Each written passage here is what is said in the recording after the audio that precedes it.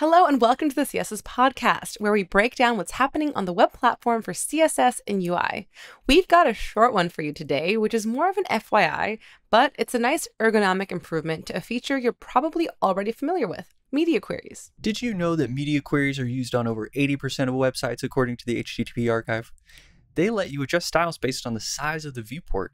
You can use min width, max width, uh, when you're setting these media queries, like you could do something like at media space open parentheses min dash width colon 400 pixels and parentheses, and then in curly brackets that'll let you apply styles when the browser window is at a width of 400 pixels or larger, minimal width of 400 pixels or larger. While at media space open parentheses max dash width colon 400 pixels and parentheses start the curly brackets. Yeah, I'm doing that that fast. That lets you apply styles at 400 pixels or smaller.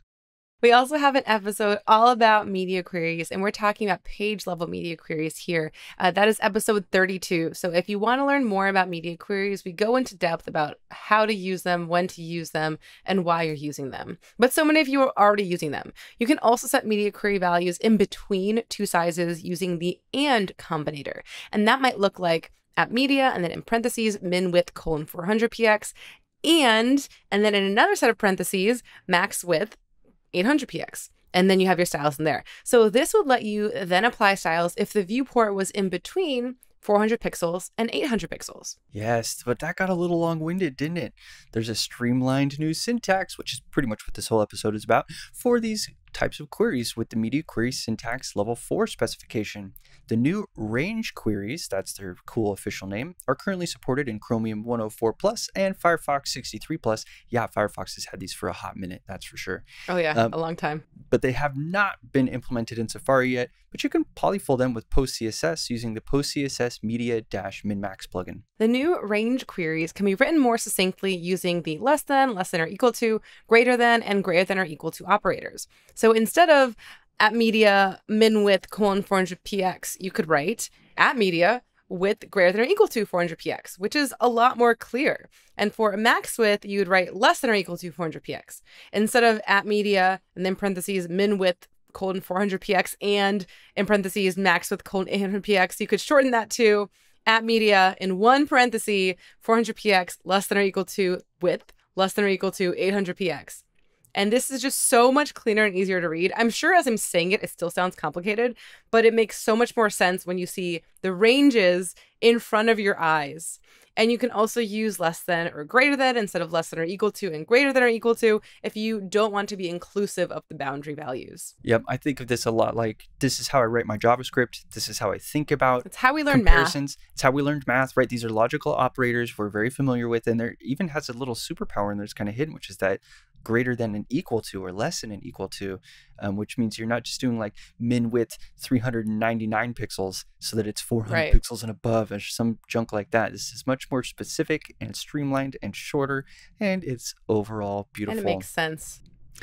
This streamlined range query syntax is supported in new query types and APIs like container queries. So you could write at container colon min dash width 400 or use the new range syntax and say at container inline size is less than or equal to 400 pixels so you get to use that nice little logical operator and now we're testing against the inline size because we're in container query land which is the width in latin languages and checking that is less than or equal to 400 pixels for more on media queries, as I mentioned, check out episode 32. And for more on logical properties, we have an episode on that as well. I feel like I'm always sending people to that episode. Uh, which one was it?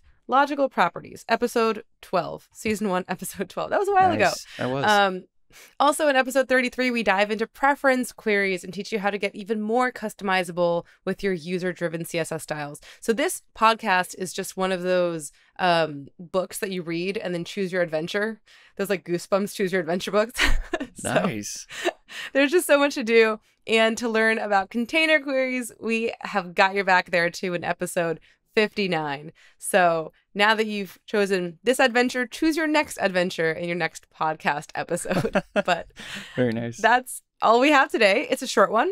But as always, thank you for joining us. If you have any questions about range syntax or anything else about CSS, we'd love to answer those questions on the show. Just tweet us with the hashtag CSS Podcast. I'm at Una, that's at U N A. I'm at argyleink, A R G Y L E I N K.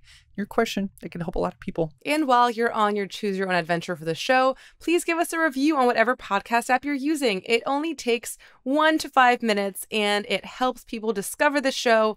What also helps people discover the show is sharing it with your friends and coworkers. So that way more people can be aware of all of these fun changes in CSS world. Yeah, good call. All right. Well, thanks, y'all. Holler at your pod. We'll see you next time.